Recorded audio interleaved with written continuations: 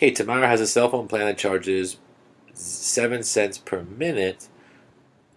So 7 cents times the number of minutes plus a monthly fee of $19.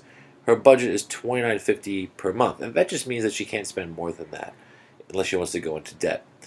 Um, what is the maximum number of minutes she can use? So how many minutes can you use plus the 19 and always stay less than or equal to 29.50? That's the goal here. We subtract 19 from both sides, right?